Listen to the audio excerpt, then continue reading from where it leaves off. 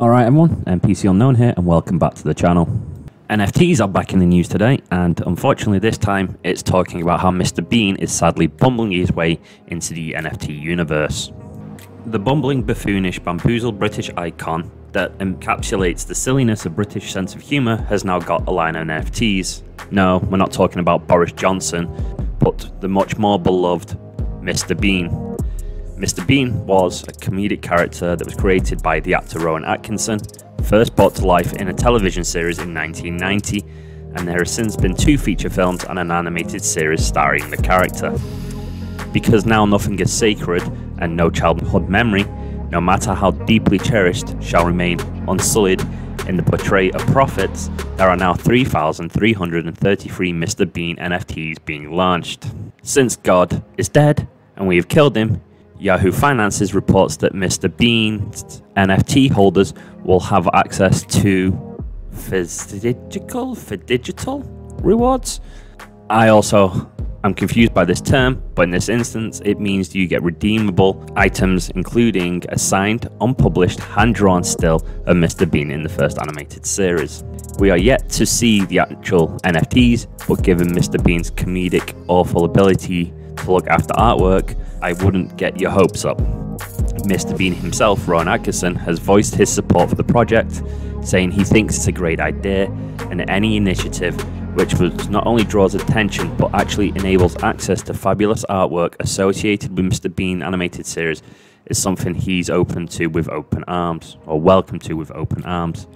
As I had previously made a video saying that NFTs are down 92%, with many selling just a fraction of what they were bought for, Scams and hacks are also rife within the NFT community, as $6 million was lost in an incident. On top of that, there was supposedly one NFT project that reportedly ran off with over $1 million of investor money, showing that NFTs really aren't a safe place for anyone to put their money. And the second article that I came across today showing that EA doesn't consider Battlefield 2042 an active game and the game the company has actually left the game off its active titles list. So Battlefield 2042 has had pretty much a rough time of it since it launched.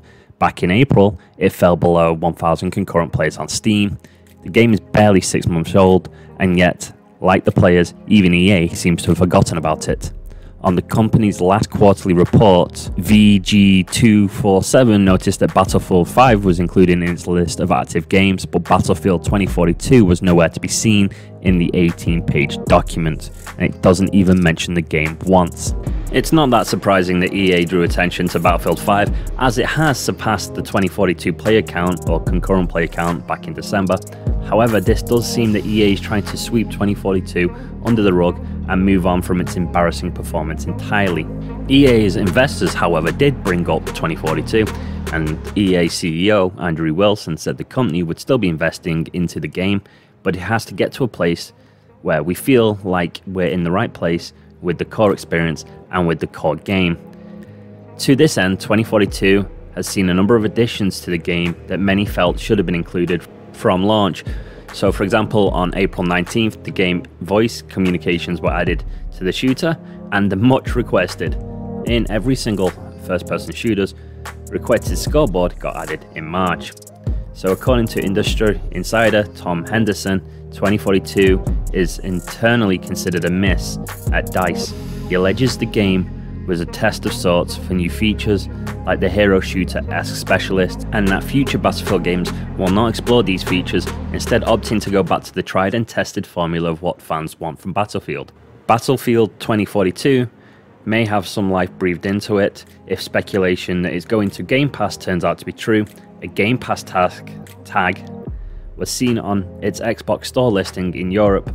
A tag swiftly removed but screenshots live on. This is the internet, it's spread by now. Game Pass could give the game the boost in players it needs to be considered an active title by EA again. Whatever the case, the company is still supporting it with updates. Just a couple of pieces of news, one about NFTs. They can pretty much do one at this point, and seeing that EA doesn't consider Battlefield 2042 an active title is pretty humorous. Would you buy a Mr. Bean NTF? And what do you think of Battlefield 42? From me to you, this video is game over. Thank you very much.